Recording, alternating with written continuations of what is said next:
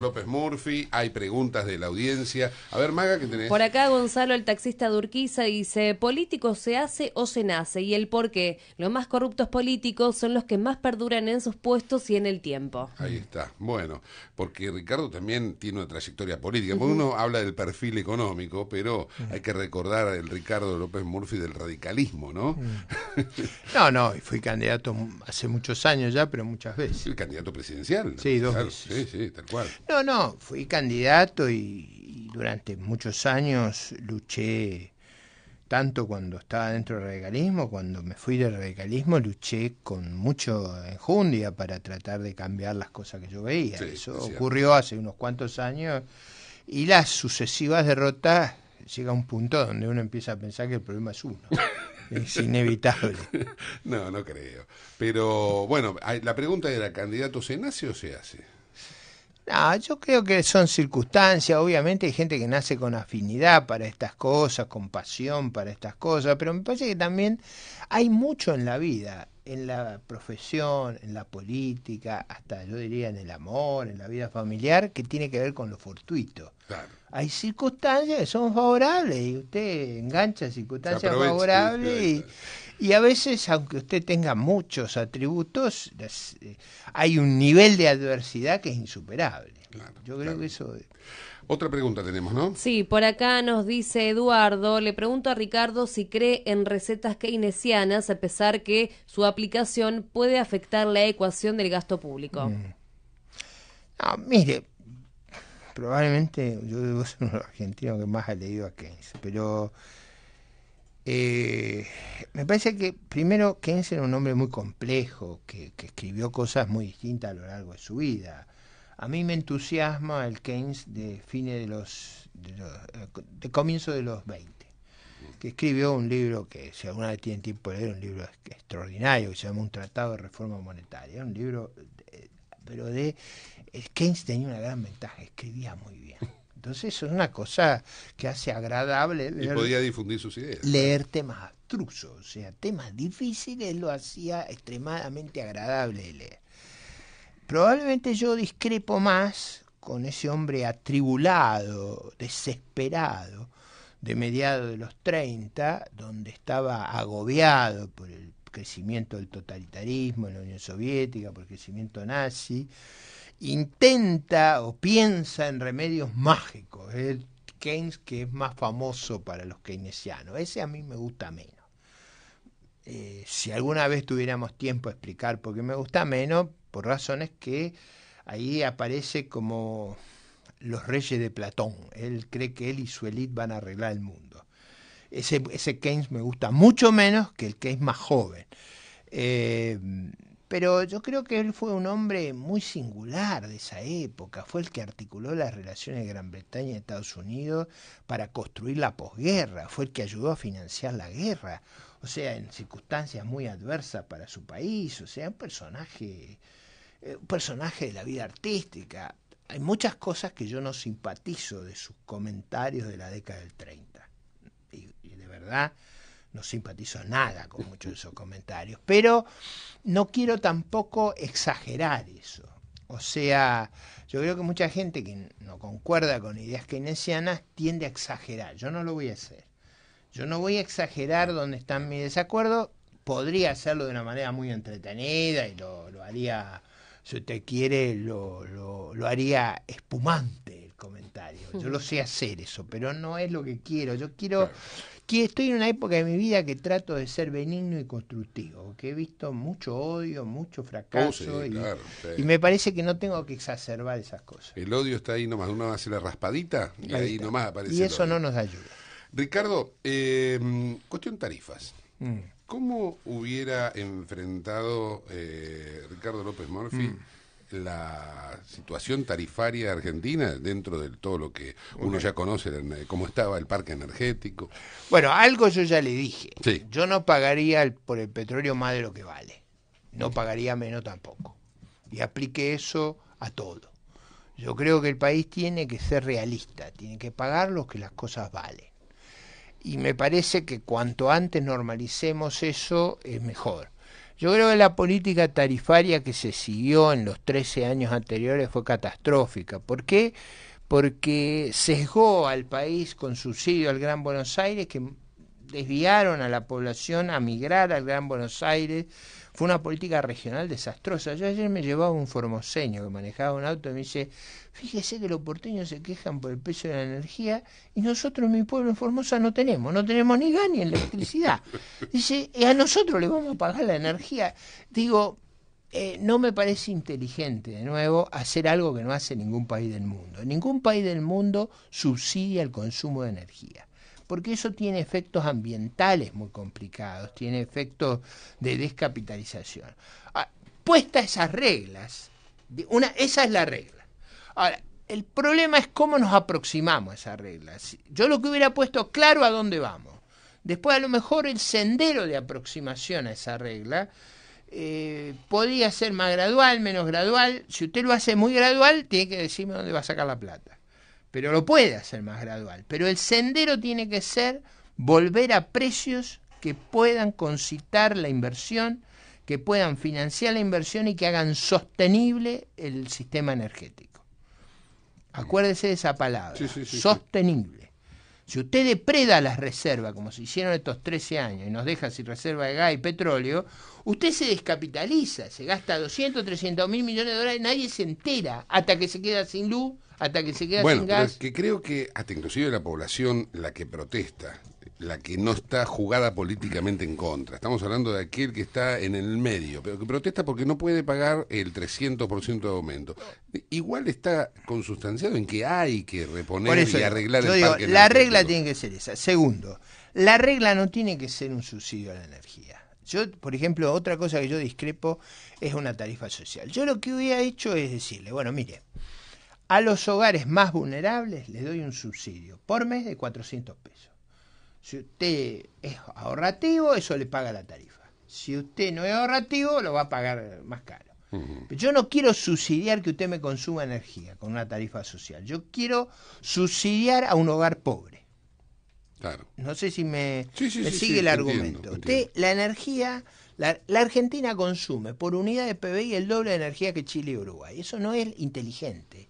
Eso es destructivo, eso no nos ayuda. Eso hay que corregirlo. Ahora, lo que usted me dice, el obstáculo para corregir eso es el consumo de las familias más pobres, eso es fácil de arreglar. Le doy un subsidio en la base, le doy un prepago, usted úselo. Si, si le doy 400 pesos, usted consume energía, lo usa. Si usted no me consume energía, le queda para usted. Todavía es mejor. Es mejor que el subsidio. Claro que sí. Eh, Ricardo, eh, yo sé que está apurado. No, pero, está bien. Hay una pregunta de la audiencia. A ver, vamos con contestador automático. Una pregunta para el señor López Murphy, con todo respeto. Yo pregunto, el señor Agustín Datelis fue eh, invitado e invitado también como orador, eh, y me parece que es kirchnerista, así que no se dejó de invitar a la oposición. A lo mejor no fue la cantidad que tendría que haberse invitado, pero por lo menos Datelis fue y fue como orador, Néstor de Aedo. Tal vez yo esté equivocado. Mm. No, yo no lo, no, lo hago agresivamente este comentario, lo hago para enriquecer. Eh, yo diría que Datelli es un economista claramente muy alineado con el gobierno anterior. No, no me parece que sea representativo del conjunto de la oposición. Yo hubiera preferido que hubiera habido una invitación que mostrara eh, la voluntad de convivir y construir que tiene el, claro el sistema institucional argentino, pero no lo hago negativamente, no lo tome negativamente, tómenlo como un consejo constructivo de cómo ayudar a que eh, fortalecer más nuestra atractivo como nación. lo que estamos tratando de mostrarle al mundo es que hemos mejorado la racionalidad, la calidad de nuestras políticas, la credibilidad de nuestras instituciones. Yo sugiero algo que fortalece eso, no lo hago en términos peyorativos, lo hago en términos de cómo se enriquece eso. Eh, es verdad que el, señor Massa recibió, no sé si a 11 o 15 visitantes del exterior, a Ter Hilton. Digo, hay formas de hacerlo que hubieran sido muy favorables para la Argentina e incluso para el propio gobierno. Claro, claro está. A ver, otro mensaje. Sí, por acá dice Manuel de Belgrano, ¿por qué no hay precio de contado en bienes, todo en cuotas? ¿Y por qué son tan bajas las tasas en caja de ahorro? Cuenta sueldo, por ejemplo. Mm. Bueno, eso yo creo que en general los bancos inducen a que usted tenga sus ahorros colocados a plazo fijo en algún fondo que los bancos ofrecen y no en la propia caja de ahorro que les debe generar más costos de operativos. Yo, yo creo que en general lo que tratan las instituciones financieras es de buscar un mecanismo que les abarate los costos y debe por eso tratan de que la gente vaya al plazo fijo en vez de retenerlo en caja de ahorro, pero me parece que sería inteligente para algún banco poner una caja de ahorro más rentable y atraer más depositantes. A pesar de que va bajando gradualmente las tasas, ¿no? No, las tasas van a ir bajando como va a ir bajando la inflación. Eso, eso me parece que forma parte de lo que uno podría esperar. La expectativa que tiene el gobierno, que ya lo ha dicho públicamente Ricardo, es de que el salario eh, le termine ganando a la inflación, ¿no? ¿Se, puede lograr eso? En, el segundo semestre va a ocurrir eso. O sea, la tasa de inflación va a ser menor que la tasa de aumento salarial. A lo largo del año va a haber una caída de probablemente 3-4% de del promedio de remuneración. Bueno, ahí viene entonces eh, tal vez la disconformidad del, que está escuchando el otro lado. Porque decir, ¿cómo aguanto yo hasta el segundo semestre? Mm. No, yo diría, a ver, ¿Cuál, ¿Qué es lo que hace subir los salarios en el largo plazo? Es la productividad, o sea, los países aumentan los salarios porque aumenta la productividad. En la historia argentina, si usted traza la, línea de productividad y de aumento y de nivel salarial, usted no es exacta la correlación en periodos cortos, pero en el largo plazo no podría ser de otra manera. O sea, si los trabajadores se vuelven más productivos, usted está en condiciones de pagarlo más y, va, va a generar ese, ese pago. Y si usted trata de pagar muy por encima de la productividad, se funde. No, no, no hay mucho escape a eso. Digo, eh, esas cosas a uno no le gusta escucharlas, pero son tan, tan claras como la gravedad. Para cerrar, Ricardo, eh, en términos generales, en mm. términos generales ahora, ¿se encaró bien, se, está domando correcta y debidamente al potro o no? ¿O se subieron por la cabeza cuando tenían que haberse subido de costado? A ver. Mire, yo tengo observaciones sobre cómo se ha encarado la política macroeconómica. Yo creo que se ha sido desbalanceada esa política. Yo creo que es muy dura la política monetaria y muy blanda la política de fiscal y de ingresos. Y creo que esa combinación nos ha generado receso y atraso cambiario. Eh, creo que se podría haber hecho otra combinación. Me parece que las autoridades están obsesionadas con éxitos tempranos. Y yo creo que el éxito más temprano que podrían obtener era bajar la tasa de inflación. Y van por eso. Entonces me dice, esa es la mejor política. Yo tengo observaciones sobre eso, pero no lo hago de un punto de vista oportunista, de politiquería. Yo creo que era más importante este año arreglar todos los desbarajustes que había de precio relativo que obsesionarse con la inflación. Yo me hubiera concentrado en arreglar los desbarajustes de precios relativos. Todo esto de las tarifas, todo esto de las prohibiciones.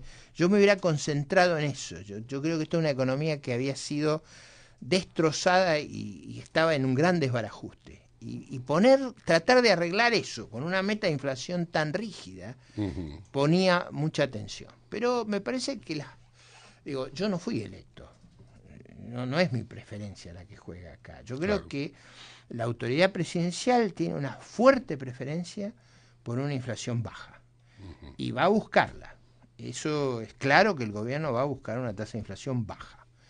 Y lo, si usted me dice, probablemente lo, lo vaya a lograr. Eh, lo que creo yo que hay costos de hacerlo de la manera que lo han hecho que yo hubiera tratado de evitar. No porque Usted sabe que yo no soy nada demagógico, no porque lo que yo digo hubiera sido sin costo, no, yo prefiero pagar a otros costos, que es arreglar el descalabro asignativo que había en la, en la economía argentina. ¿Eso lo preocupa? Eso me preocupa porque es más laborioso de hacer. Por ejemplo, la Argentina tiene un problema energético brutal tiene un problema de convocar inversión en el sector energético brutal. Nosotros estamos al borde de un problema muy serio allí. Y nos está costando mucho atraer la inversión y nos está costando precios muy altos de la energía. Yo preferiría haber arreglado eso y lograr que los precios y la, el atractivo de inversiones fuera mucho más fuerte. Ricardo, agradecido de que No, un gusto de haber estado haya pasado por aquí. ¿eh? Nosotros vamos a hacer una pausa, regresamos en instantes, todavía nos queda un bloque más del Ojo de la Tormenta. Ya volvemos. El Ojo de la Tormenta. Hasta las 6 de la tarde. En Radio Latina.